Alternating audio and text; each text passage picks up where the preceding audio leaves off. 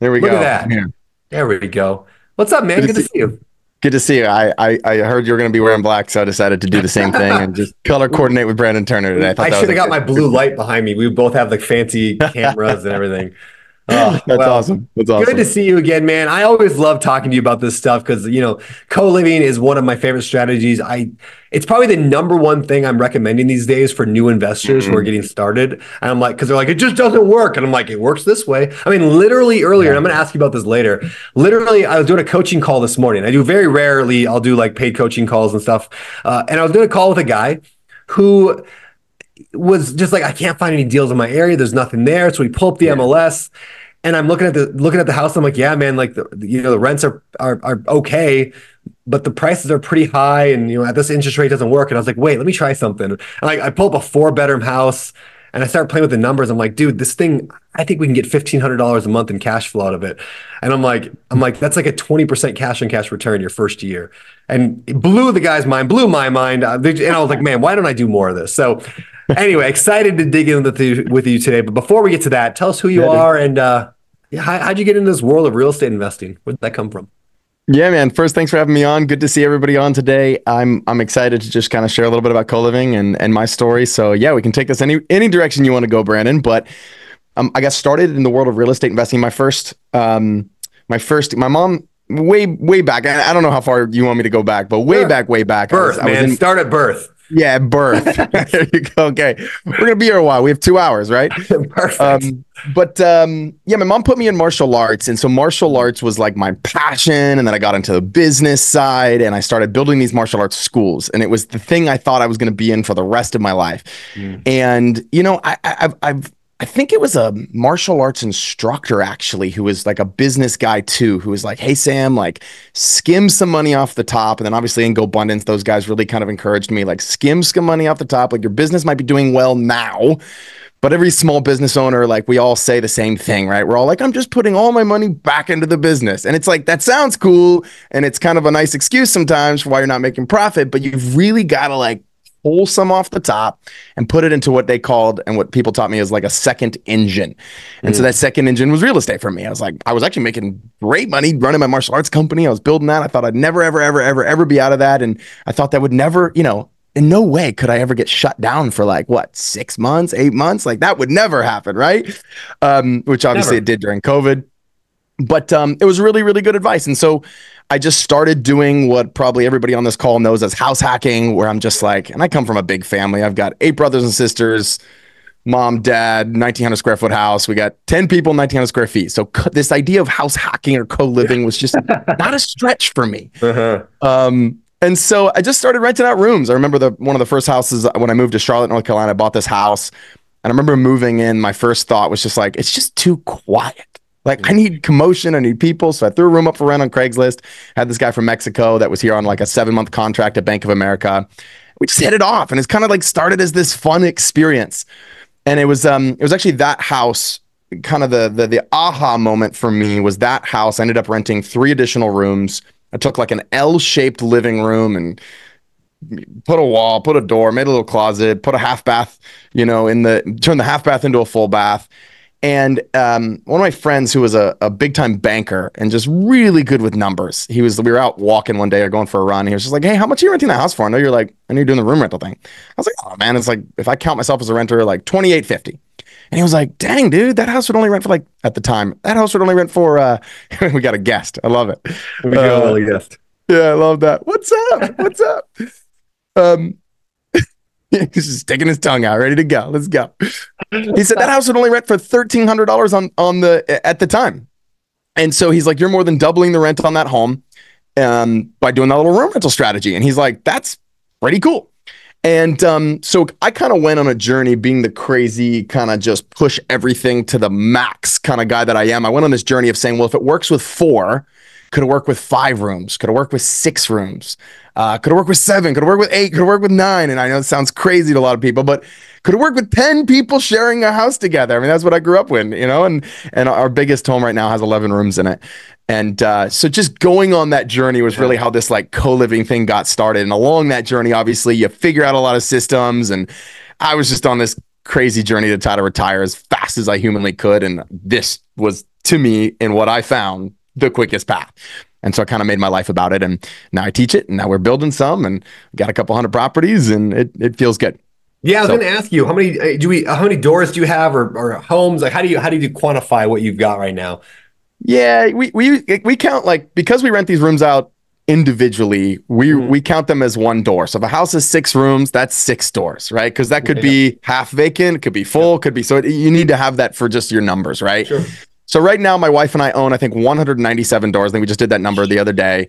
Uh, co-living doors, and then we manage probably about 200 additional ones. So we have about 400, maybe 450 now because we're adding a bunch of homes this next month. So yeah, somewhere between four and 500, and and growing really rapidly in terms of just the number of co-living doors that we're operating. And then in my group, in my in my the people that I manage and coach and teach, probably 1,500 kind of around the United States and in in most major markets. Yeah, it's legit, man. All right, so let's go into yeah. the, the details of how co-living works. So first of all, the, the natural reaction anytime I talk to somebody about this, they're like, oh, that sounds terrible. I would never want to rent out a bunch of bedrooms to somebody. That sounds awful. What's your response to that? Yeah, my, my response is kind of just to tell two quick stories that everybody will will definitely remember. And one was when Uber first came out, and everybody said you're going to go pick up a random stranger on an app, and you're going to go pick them up, and they're not going to mug you, they're not going to kill you, and you're going to drop them off at another undisclosed location, and this is going to be the newest greatest thing, and it's going to be awesome, and you'll never be in a taxi again. And we all thought, yeah, that's a stupid idea. That'll never work, and everybody's going to die. And now we have Uber honestly yeah. for those that were around and you know we we seem to forget really easily when these new things come up but i remember when airbnb first came out yeah it was like whoa whoa whoa, whoa, you're gonna rent your second home mm-hmm. to a mm-hmm. bunch of teenagers on an app that you've yeah. never met before and they're not gonna like just destroy your house like that'll never work like haha and now we have airbnb right because they figured out those nuances those details to make it happen and so co-living is a blue ocean uh, which is which is which is you know this this free place where it's like yeah it's it's there's early adopters. So it's it's if you want to be on the beginning stages of something and kind of be able to ride that wave now's the time to ride it. Now if you're like oh no no no no I want to wait till everybody has figured out every nuance to this that'd be like buying an Airbnb now. You're you're not yeah. you're not coming in at the top, you're coming into a somewhat already saturated thing, right? And so it just depends on. I, I teach that every investment has a life cycle, just like a human being, right? It's it's born and it has all the, you know, it's, it's, it's, a toddler and then it's got it's a young adult and then it's a teenager and it goes and then it eventually dies. And you think about like 401k, right? It's like, yeah. what's it's run, it's a good course. Everybody has figured out how to get their fees out of a 401k. Everyone's figured out how to how to tax the 401k in the perfect way. And and that's that's that's a very mature investment but it's also like more of a red ocean where there's a lot of people kind of fighting for a piece of the pie. I actually think in some areas airbnb is a red ocean. It's everybody's fighting for the piece of the pie. I mean brandon I, I'm in, so I'm in Ash, I'm in Charlotte, North Carolina, but I've got Airbnbs in Asheville, North Carolina. We've sold off a bunch to, to redeploy into co-living, but and this person launched an Airbnb with a bowling alley. they got bowling alleys, swimming pools, pickleball courts, basketball yep. courts. I mean, it's like, holy cow, like I can't compete with that. I, I just put a sauna on. I thought I was doing a cool thing recently, but putting a sauna in one of my Airbnbs. And it's like, these guys are launching these Airbnbs with 49 uh, amenities and counting. But anyway, I digress. Back to you. I love it, man. All right. So when who are we renting to in a situation like this? Like who's going to rent a room in a house when they can just go get a apartment? Why would they do that and who are they? Yeah, I mean, I think one of the coolest things about co-living, and I know um, Mitch was on here earlier and he was talking about how like there's there's some cool elements to this that we're getting to help other people. And so yeah. the cool thing about co-living is um, when you have a co-living home, you break it up into bedrooms, you rent out bedrooms, you are introducing to that market, let's say Charlotte, a price point that did not previously exist. Yeah. So if the lowest price point in Charlotte is about thir- you know, anywhere from eleven to thirteen hundred dollars for a studio apartment, that is the lowest price point you're going to get if you want to be on your own. Um, we can introduce something that's seven hundred dollars a month. We yep. can all utilities included. So we're about 50% when you count that you got to pay utilities on that studio. So who's renting that is really like anybody making $50,000 a year or less, yeah. $60,000 a year or less. I think I heard you say something recently about like someone's working at Starbucks, they're making $18 an hour. They are not renting all in $1,500 a month studio apartment because after taxes, that's yep. 65 to 70% of their income yeah. after taxes. Yeah. It just, the I, math doesn't add up. It doesn't. And I think, you know, I mentioned earlier, I use the, I use the metaphor when talking about assisted living. I said there's a giant whale coming. And if you want to get you want to get in front of the whale, if you're paddling out there on a paddleboard, yeah. you want to get in front of the whale. Yeah. And you see the whale coming and old people retiring and needing assisted living, that's a giant yeah. whale.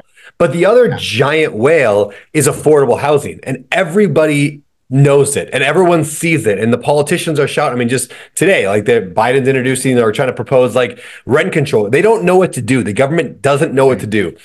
And so the government yeah. says, like, let's just jack up interest rates. Well, what's that doing? That's just causing more problems, raising rents even higher. Yeah. Okay, we're going to lower interest rates. Eh, everyone's going to buy all the houses. They're going to jack up rent. I mean, everything they do yeah. is making the problem worse. Yeah. So true. This dude. is a real solution to a massive problem. How do you become wealthy? You have real solutions to massive problems. And yeah. that's just this is one of those. So anyway, this is why I'm excited about it is because it, yeah. it provides real value. It helps people. And like you said, it brings up a price point in. I mentioned earlier, I'm looking at that property. It was outside of Nashville. It was 30 yeah. minute drive outside of Nashville. And uh, I'm looking at this house and it's again the cheapest. And you tell me where I'm off in this logic because I'm not a co-living guy, but I, I, I, this makes sense in my head. I go in, I look at this house, four bedroom house. It would rent for twenty five hundred dollars a month as a normal rental. Uh, the yep. cheapest studio apartment in town was twelve ninety nine for for a studio apartment. Uh, and so I, my theory was I could get probably yeah, eight hundred to thousand dollars for if this was a nice bedroom in a house. And right. I'm only 30 minutes from Nashville, which means I'm not just out in the sticks in the middle of nowhere. I'm getting somebody who in Nashville for a studio apartment, you're probably paying more than that.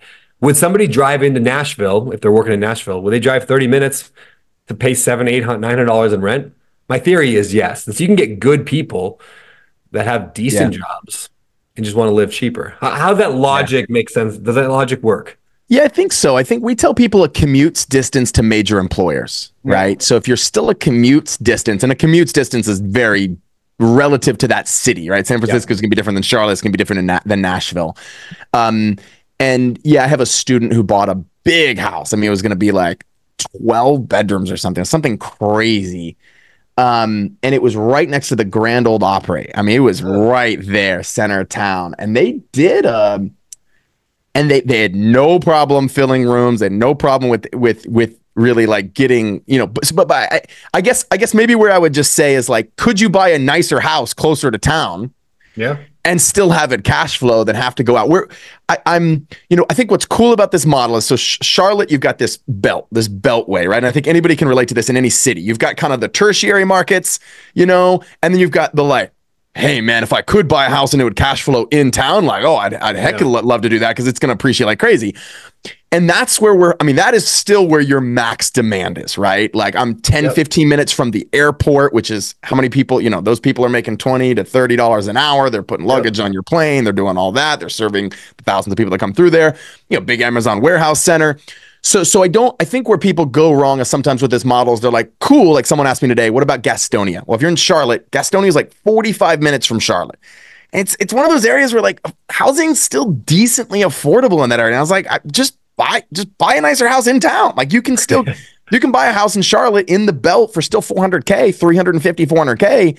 You turn that into eight rooms, you're still cash flowing like you're still cash flowing probably two grand a month on that house. Like just do that. It's going to appreciate yeah. better. We know there's a market there. Now you have a little economies of scale. You can put two more there. So what we do before we go into a market like that, and, and anybody listening, if you're like, hey, yeah, would this work in my town? Is we do a little scrappy little play where we just run a test ad. So we'll just go to that area, we'll take some pictures, we'll hide the address, we'll post it on Facebook Marketplace, and we'll be like, room for rent. Yeah. And I know I get a lot of flack because people are like, that's space, you know, and like before we buy the house. Yeah, I, but it, I love it. I love it. Yeah, uh, but before you like go spend three hundred thousand or four hundred thousand or five hundred thousand dollars on a house, like go test it and like do the right thing. When people respond to the ad, like message them back and just be like, hey, I'm actually creating a waiting list. Please fill out this form, is what we do. Please fill out this form. It'll get some data and you're going to be at the top of the waiting list, right? And what happens is we at least have some data for how much. I mean, if I put this on Facebook Marketplace and I do the, you know, the circle in Facebook Marketplace, you just, you give it a yep. general area, but it's close enough where people know where that house is and I get a hundred hits in four days, man, there's demand. If I get Yeah. four hits in four days, either A, it's a crappy area or your price point is off. So then we'll test different price points. That's if I have no students, nobody in that area. That's how we test a market. And that's how I recommend people still test a market. It's the best. Yeah, it's brilliant. The only problem is you can't, and a lot of a lot of people want to be like a they want to put like, you know, uh, test ad or they want to put something in the copy of the ad. Yeah. Just it's got to look real. That's what we There's found. a, there's a quote from Tim Ferriss that uh, literally, I think I would say changed my life. It's just a simple thing, but I've used it a million times in business and marketing. Yeah. Never ask somebody if they would buy, ask someone to buy.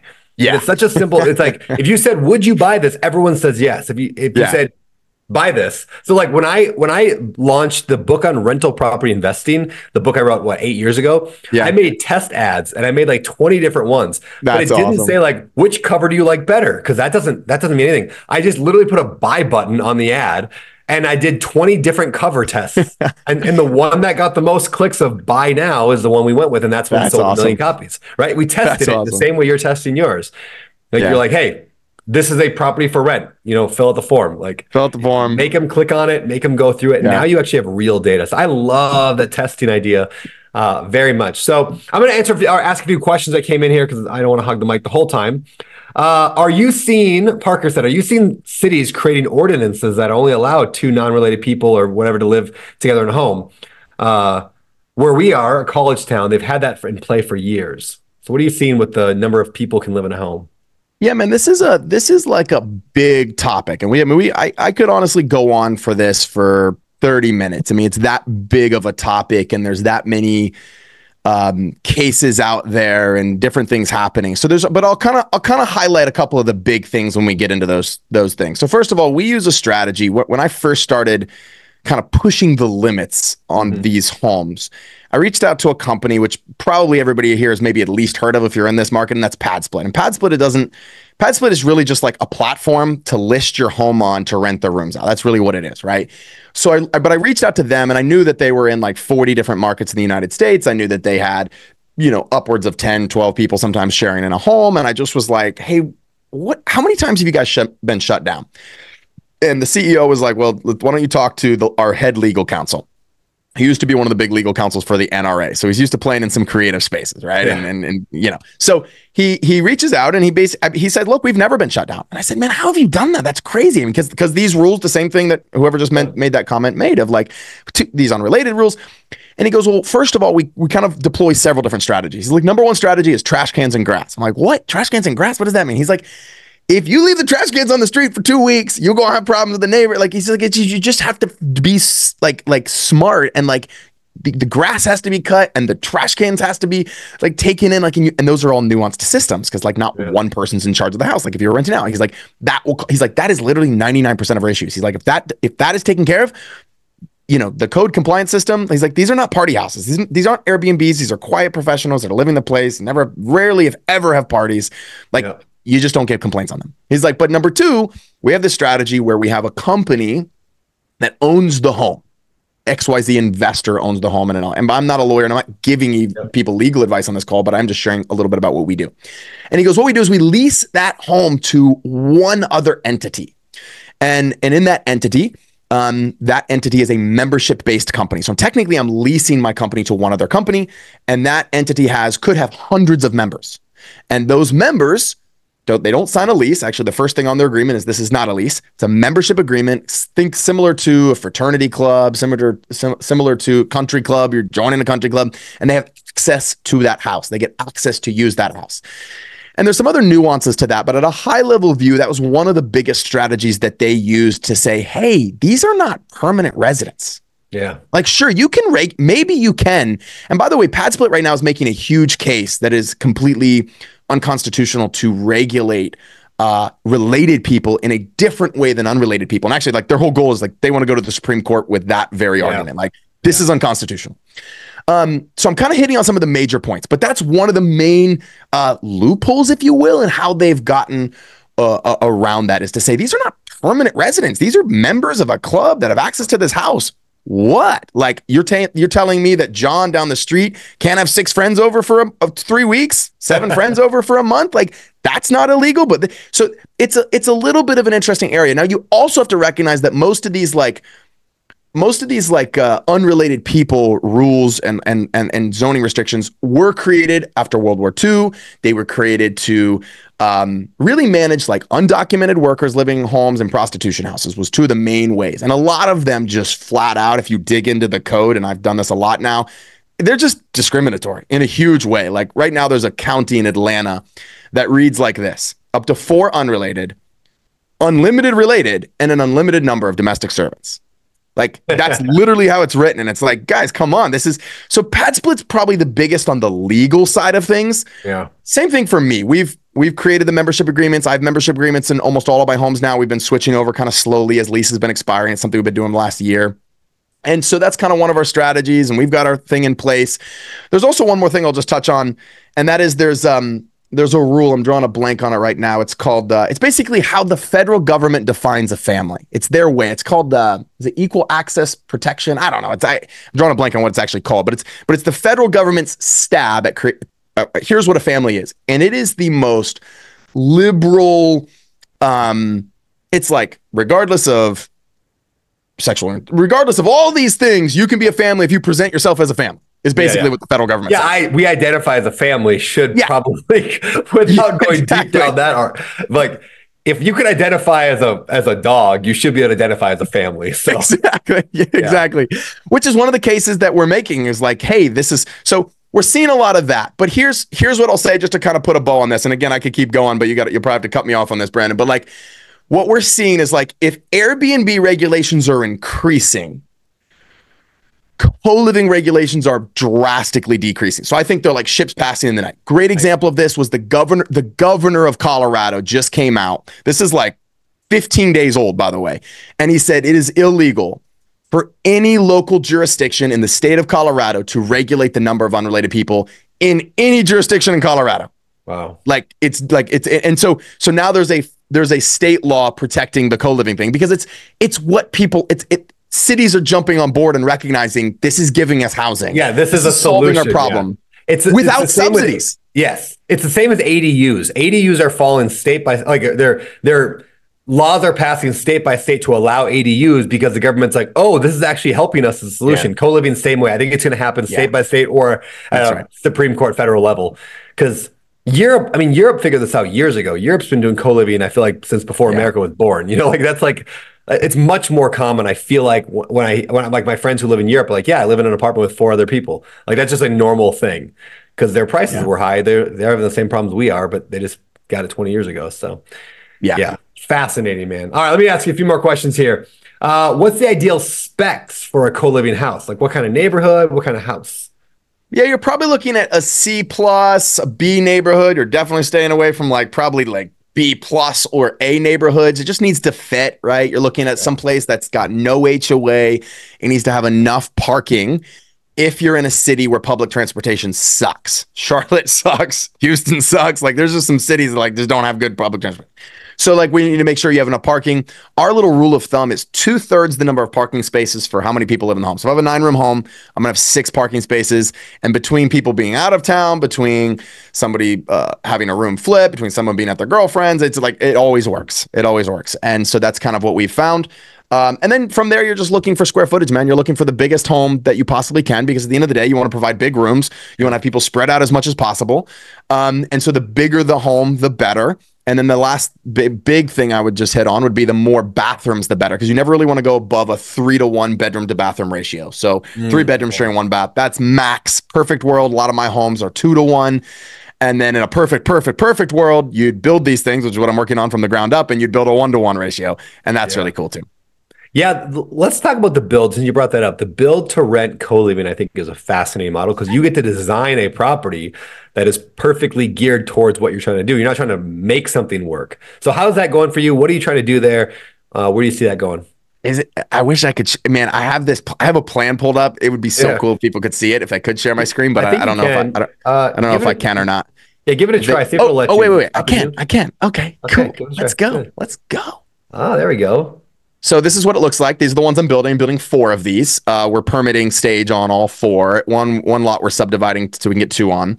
Uh, it's very basic build, guys. If you're looking at this, it's just an o- so it's an over under duplex, kind of a long shotgun type building. Um, this is actually one. This is the this is the exact plans for one that was already built in Atlanta, not from me. And then what I'm going to do is let me just share. I think the most interesting, the other most interesting thing will be the floor plan. So on the first floor, you've got bedroom, bathroom, bedroom, bathroom, and it's a little I'm trying to zoom in for you guys. Oh, there we go. So we ooh, too much. Bedroom, bathroom, bedroom, bathroom, bedroom, bedroom, another bathroom, nice little kitchen, dining area, living room, and office. Now, the guy that I had build this, he turned the living room and the office into two more Yeah. bedrooms because he was like, "Look, everybody stays in their bedroom. They got a bunch of bathrooms, and they have this cool d- kitchen, dining area." And then it's the exact same replica on floor two or floor one. I forget. This is actually the ground level. So you got living room, office. Again, could be two bedrooms. Bedroom, bedroom, bedroom, bedroom, bedroom, bedroom. So uh, private bath. I'll just give you guys some quick math. Like in the towns where I am, in Asheville and Charlotte, North Carolina, private bath will go anywhere from 950 to 1050. And that's just based on like location, uh, how big the room is, how nice it is, how new it is, blah, blah, blah. And so thousand, so let's say low, let's take the low end of that, 950. These are going to end up being 16 bedrooms if you converted each of these Yep. and 12 full baths and we can build this, not including land costs, but a turnkey build price is 700k, and that's like, I just have to like just have to ink the contract with the contractor. So you're you're basically getting so for 700k, what are you getting? You're getting a bedroom that's producing 950. Um, well, once you do land costs, I can buy a land. So so it's going to be about fifty thousand dollars per bedroom. So you're almost hitting like this. You're almost hitting this like 2%. like that's almost a two percent rule is what that ends up being, right? Which Like, is pretty in- dang close. which is pretty much, I mean, you can't even find 1% deals anymore, like across the country. Like it's very, very, very rare to find a 1% deal on a rental property. So to be able to pull out a 2% thing, I mean, like almost that's in, Yeah. that's incredible. And the building, again, you got lower repairs, lower capex, Yeah. lower everything, easier management. Man, everything is easier. I yeah, I think there's tremendous opportunity. And then it's like rinse and repeat. If this works the way you want it to, it's like, all right, let's do it. Let's do it 20 more times. Let's raise some capital and do this thing. Because now you can bring in investors Yeah. if you want. Like there's an interesting world in this for sure. That that excites Yeah. me. I 100% agree, man. All right. So how about some more questions? There are some questions about the management. How Yeah. do you deal with a, a dirtbag tenant? How do you make sure they respect each other? Like I even most people haven't lived together since college. So how do you how do Yeah. you make sure that works? Yeah, man. I mean, I think our first of all, you vet a tenant in a co-living building just like you would any other place. Like they need to be a good person. But the added the added thing that we do that's different from like just say you're putting someone in an apartment is what we call a vibe check. And it is just that. It is a in-person interview where we ask them some questions and we get a vibe for if they're a good person. Now, you know, we offer one free transfer within the first 30 days when someone signs an agreement to kind of just like if they're like, what if I don't like all these people in this home? and and it just kind of that eliminates a lot of the issues and we have enough we have enough volume here where they can be like look i just for whatever reason okay great we'll transfer them to another room no problem free and get you know they don't have to pay any extra fees out of their membership agreement or anything like that so that's kind of one way that we mitigate that um yeah i mean we rewrite our membership agreements or we write eh, you know if you're doing leases you got to write your lease this way to where you can evict somebody for a break of house rules. Now obviously this is going to depend on what state you're in. I'm in north carolina. We are very landlord friendly go North Carolina. And so it is not hard to evict somebody in North Carolina. And it's not hard, you know, obviously that's, we'll terminate their membership first before we put an eviction on the record, of course, and be like, you have 30 days to leave because this Yeah. is not working. And so we'll do that. And there's enough demand for that that it's not like we're trying to, you know, it's just sometimes it's better just to get rid of someone and move them out and say, hey, not a good fit, no harm, no foul. We're giving you 30 days, pay your last month rent, and you're, and please find another place to stay. So we'll do that. We have like a member dispute portal where they can go in, they can scan a QR code in the refrigerator. And this may sound a little nuanced, and it is a little nuanced, but it's hey, it- it's just one of the things that kind of comes along with the territory of this of this of this niche. They'll scan the QR code and they'll answer a bunch of questions. Hey, what's the situation? What's going on? And it's it's just long enough where if it's not a real issue, they won't finish it, but it's short enough where if it is a real issue, we will hear about it. Yeah. And that could be as simple as, hey, someone's vaping in the house. like it could be that simple. Like, I'm going to fill this out. It becomes a member concern. And then we just have a bunch of flows and scripts that our virtual assistant team handles and takes care of. And then it will escalate. There's warning one, warning two, warning three. And then it'll escalate to the point to where if it's a real issue, we'll, we'll ask them to leave. Um, you do get those people. They sneak through no matter how good you are vetting. You absolutely will get those people in the homes and they're a pain in the ass. Um, but usually once everybody knows, like in that house, there's eight people sharing a house and there's one dirtbag person. Like once everybody knows, like, we're getting them out, guys. Sorry, we made a mistake. They're cool. Yep. It's like, all right, John's gonna leave in 20 days. like it, it, it yeah. Did, what does an eviction process is the same basically as a normal? Yeah. Just Yeah, it's exactly the same. It's exactly the same. Yeah. Yeah. Awesome. All right. A few other questions. Let's see. Um, And in, and in North Carolina, you can, you can evict someone in like 40 days. You you basically can evict them in after 10 days of not payment. Yeah, it's fast. Like depending on the state. So Yeah. be careful where you are in the Yeah. state. But yeah. Okay. How long do you sign a lease for? Are they annual leases or, or what does that work for each person? So we do membership. membership. So what's the Yeah, so we do these membership agreements on a and um yeah, we'll put a term on the membership agreement. We, we used to not do terms on the membership agreement, but we we've kind of added back that that for some legal reasons around some of the code enforcement stuff that someone was asking in earlier. So we give we give you, you can you have the the option to do it right now, but usually yeah, 12 6 month or you can do 60 day notice. We used to do just 60 day notice. We'll put someone in like give us a 60 notice and you can move out. Um, but now we do 12 and 6.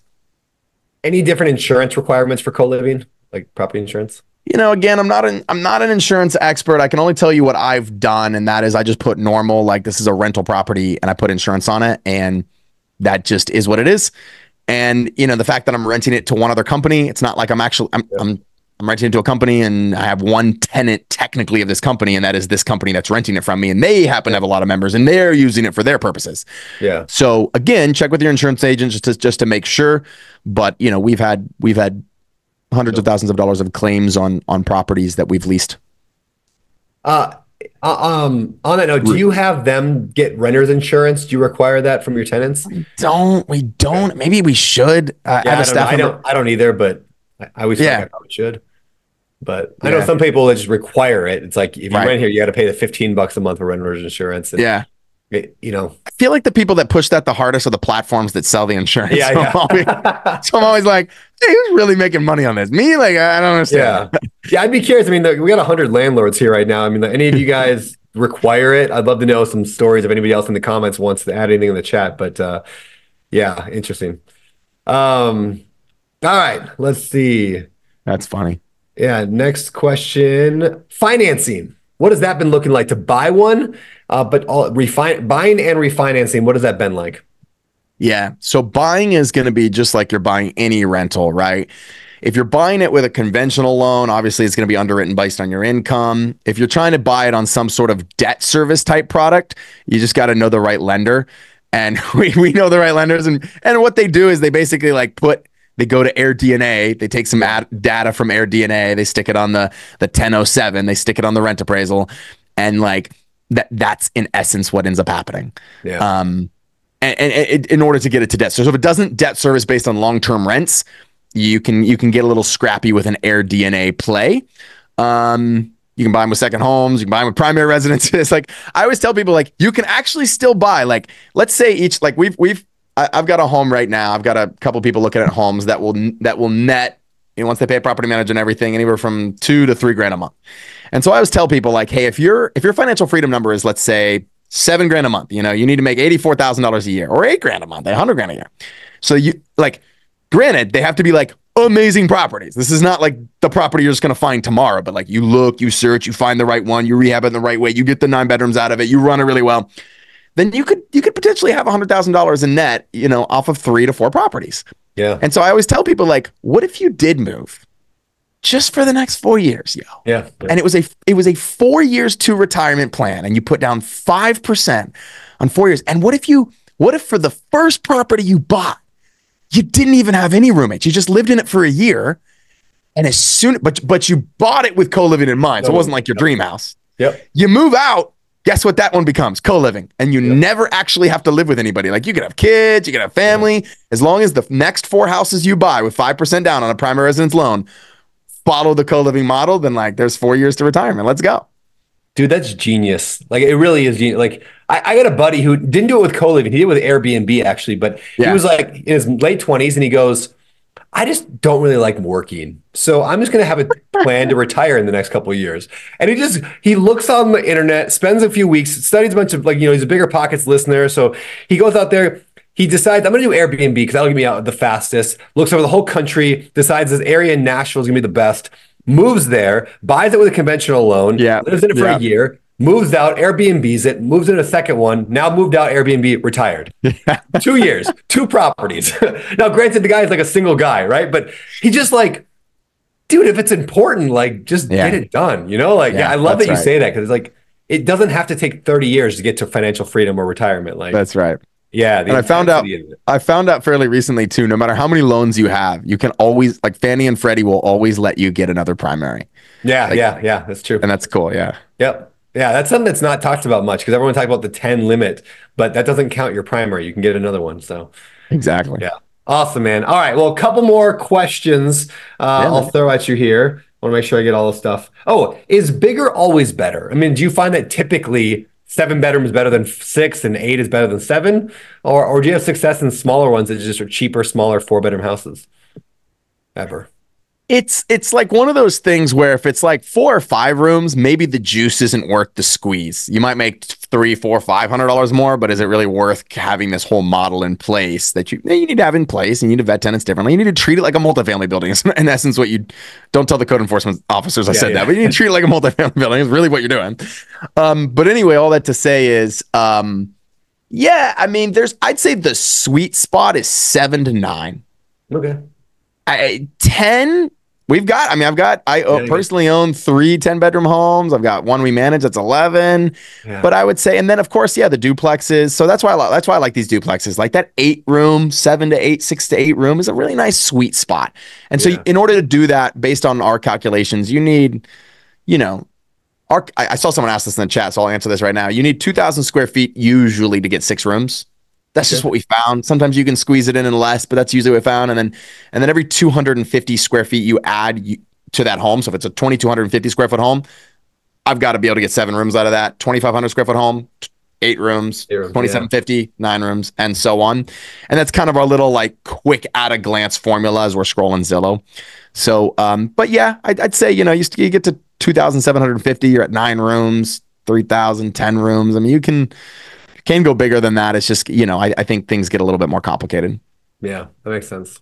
Uh, what about what are some additional things that should be taken into account when renovating a home to be co-living, like additional water heaters, AC units? I'm wondering, do you put two fridges in? Like, what are some things you do just to make it like, oh yeah, this is good for a co-living?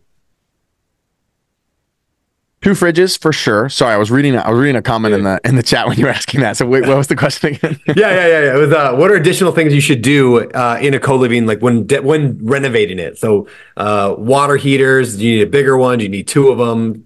Extra. Um, anything else special that you need to do? Not really. You need to make sure the the, the rooms have like airflow. That's like, Mhm. and that's honestly not a problem except the extreme. Like like right now, it's been like 106, 100, and like it's been crazy in Charlotte. So like, if you have that airflow or someone did, someone only got- got one vent in their room like that, you're gonna hear about that, right? And sometimes you're just like, hey, it'll get cooler tonight. Like, sorry, like, but but but like.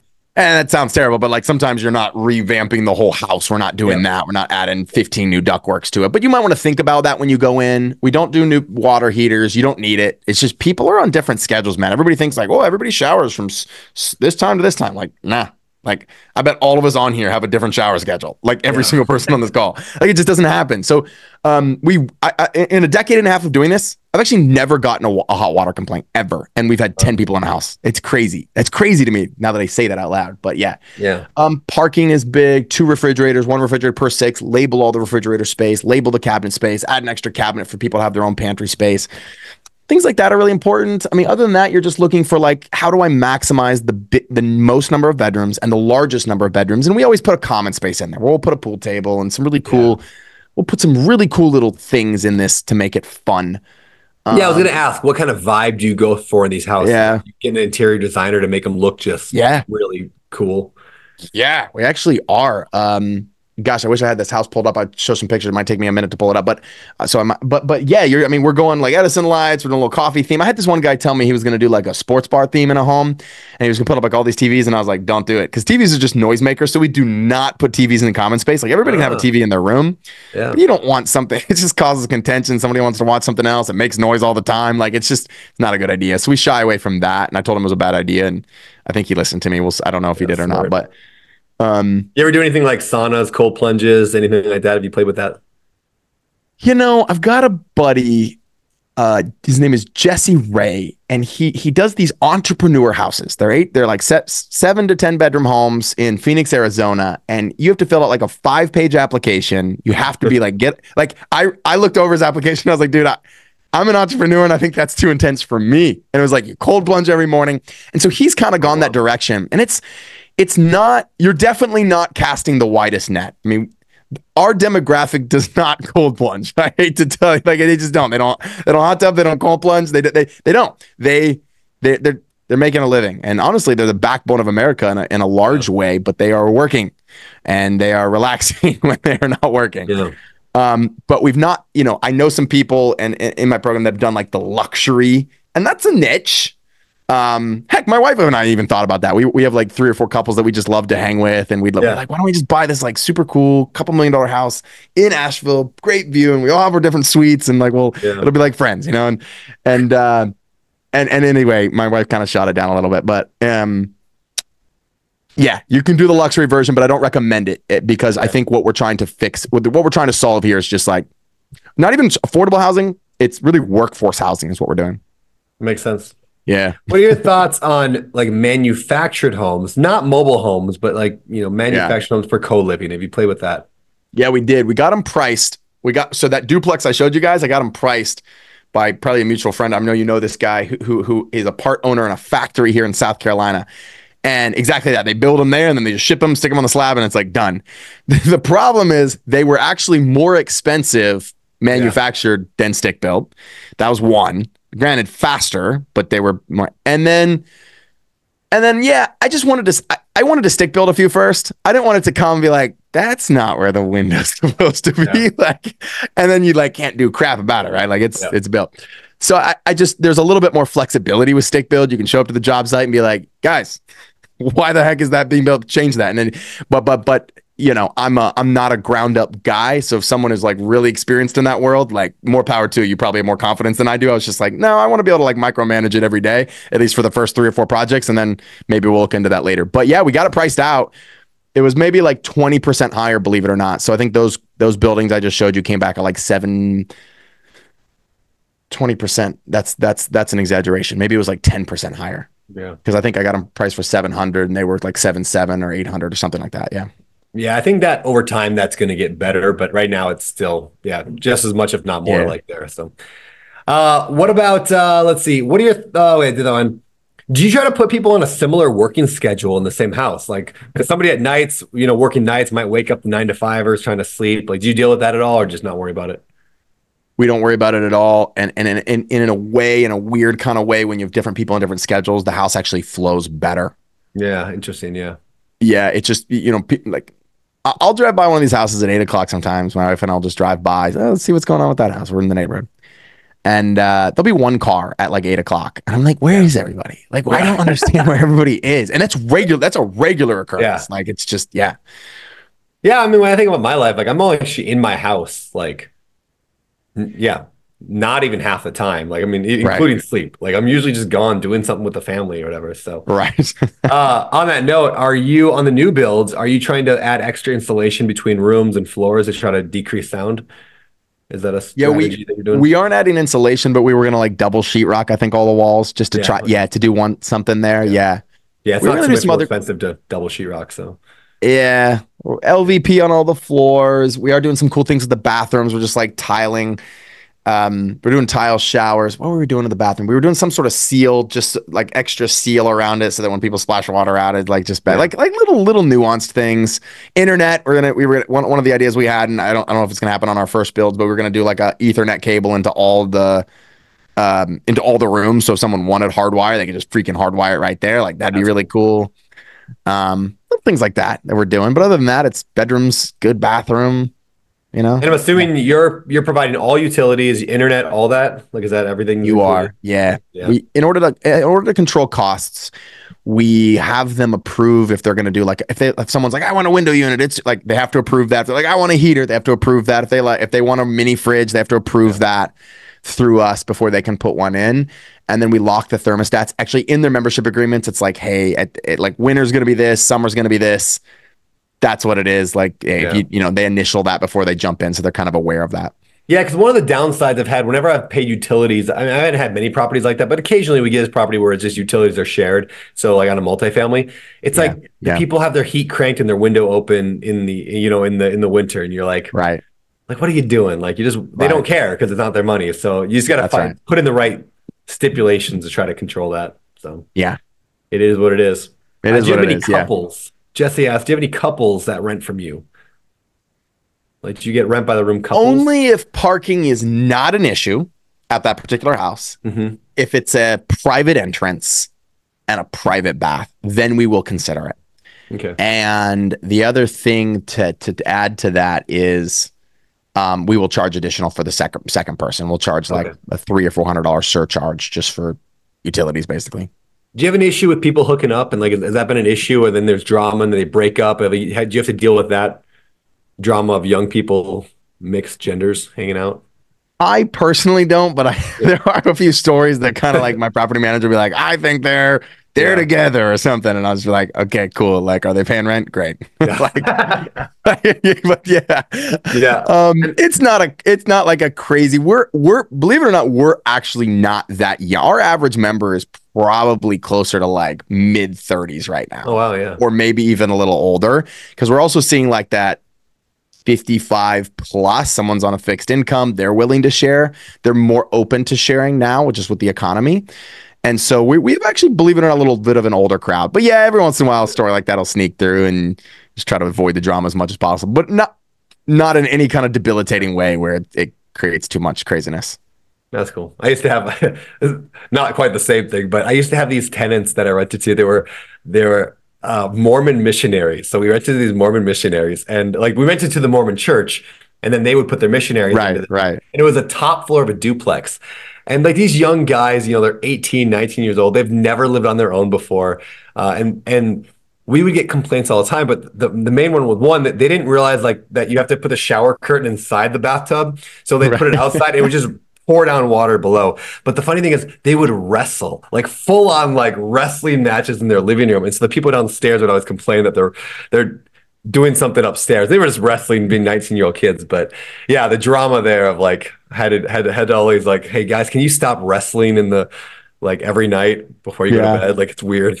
so but i hope they were just wrestling i'm not Yeah. that wasn't a euphemism yeah, no, they were just wrestling. I think. I think they were sure. just wrestling, but the people downstairs weren't so sure. So I don't know. It was a it was a fun one. So uh, yeah, we man. I've had I've had tenants that complain about people, you know, making loud noises at night uh, next door, and like you just as a landlord, you just deal with that stuff. You're like, well, sorry, like. Yeah, exactly. they were just wrestling. They were being goofy boys. It's exactly what they were. It was just like such a funny like call we had to make. It's like, listen, guys, like, can you put your shower curtain inside and just stop wrestling? Oh, funny group. Good kids That's though. great, I. I highly recommend if you can rent to the Mormon church, like those, they are the best tenant you could get. The Mormon church has money. They never missed a payment. Uh, yeah, they're That's they're, they're good tenants. So That's all right, funny. Al. Uh, let's let's end this thing, Sam. It, last question, and then I'll get some info way that they can find more about you. Somebody wants to do co-living. yeah What should they do? Like, what's first, first, second, third kind of step uh, to get into this world? Yeah, I guess if I had to break it down into three easy steps, three easy steps to financial freedom through There you co-living. go. Let's go. Okay. Um, yeah, I'd say first you got to you got to find a market that is co-living friendly. Th- there definitely are co-living not friendly areas. Actually, Nashville is Nashville, Brennan is actually one of them. They've they've kind of Okay. publicly come out. They fought PadSplit. They're like, we don't want this in our city. Blah blah blah blah. Sarasota is another one. Sarasota is just like we don't. Anyway, I digress. But my point is like you you've got to you've got to do your research and find an area where you can plant your flag and say, okay, this is where I'm going to be. Kind of like your buddy did with Airbnb. Like Nashville's the Yeah. best for Airbnb. Like where's the best area for co-living? And not that there's one best area. It really works in any kind of anywhere that affordable housing is an issue. I've got co-living homes in Asheville and it's 50,000 people. So it can work in any town. You got to just know where it is and where what, what's friendly to us. So I'd say that's step one, finding your area and planting your flag. The, the second step, um, that really is maybe first step actually. I would flip these two if i now that i'm putting this together is where can you manage it? Because right now if you just go to a normal property manager and say i've got like eight rooms in this home they're going to be like yeah you find your own way to manage that. Like we aren't managing this. And so you have to you have to either like be willing to self manage it. You have to be willing to train someone to manage it. And that's what i did is just like hired someone to do it, or you have to be use be willing to use one of these platforms, these tech platforms that are up and coming. And there are there are property managers that will do co-living. They're just not like advertising big. They're kind of like you got to know someone that knows someone that has 200 rooms that they manage. Kind of like my company. It's like we manage 450 rooms, but I'm not actively like give us rooms to manage. Like, so so you got to kind of know that. I know some people in Austin that do it. I know some people in Dallas that do it. I know some people. There's there's there's companies and probably in just about every major city, somebody's doing it at a couple hundred room scale kind of thing. So I'd say figure out where you can manage it and what you need to do. And don't get too scared by that. It's in some ways managing a co-living place is easier than managing a multifamily. Hmm. From a capex standpoint, if I have eight people paying me rent in a home, I've got one to two HVACs. If you're having eight unit multifamily, you got eight HVACs. So in some ways, it's actually cheaper and less and easier. Great, point. Right? Yeah. yeah. two refrigerators versus eight refrigerators, one yeah. dishwasher versus eight, one stove versus eight. So there's there's a lot of things that actually. So don't don't be scared of that model. Um, so figure out where you can manage, then based on where you can manage, decide on your area. And then, yeah, you just got to evaluate a bunch of deals. Um, if I had to give a third step to it, I would just say, yeah, I guess just go evaluate a bunch of deals. Like yeah. that's where it always ends with every real estate. I feel like that's the clicheist advice I've ever given. Like, go look at hundred deals. Like, I'm not Robert Kiyosaki here saying hundred to one ratio, but that is what he said, and let's just let's just leave it at that. But go evaluate deals, and and then if if you find that you can't find deals in that market, maybe because you picked San Diego because you could manage there and it needs housing, but all the homes in San Diego are an 8% cash on cash, which by the way, people that go through my program, they actually do find deals in like San Diego that can cash flow. Now, not a ton, but yeah, I'm just yeah. like, you can cash flow in one of the most yeah. expensive markets in the world is really what it ends up being, right? So it's kind of cool, but I digress. So so so then like if you can't find if you can't hit your numbers, you got to just go back to A and repeat and like where else can I manage? Yeah. Where else is a good market? And then like, okay, I've got to be able to make money. I've got to be able to hit a minimum of a thousand dollars cash flow. And that's after everything, guys. And if you can't do that, you shouldn't do co-living. And and frankly, you should be closer to 15, 2000 and some of our some of our good homes, you know, we'll do three thousand dollars net. And that's just, you know, that's that's probably a 10 bedroom home. That's pushing the limits a little bit. That's a three thousand square foot home. But like if you're willing to go, if you're willing to do that, um, just depends on how far you're willing to go to reach your dreams. Yeah, it doesn't take that many. That's what I love about co-living. It d- does not take too many.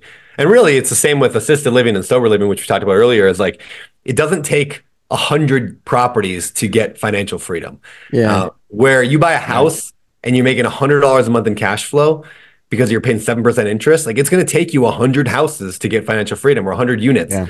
um, to get there. But with you know, yeah, with co-living, my, there's definitely opportunity. My accountant always gives me this little spiel. My accountant's, you know, in his 50s and he's always like, "Sam, I see you buying all these properties and you're leveraged. Why don't you just take some of that cash you have and pay pay off like 3 4 of these properties, then you get all the cash flow."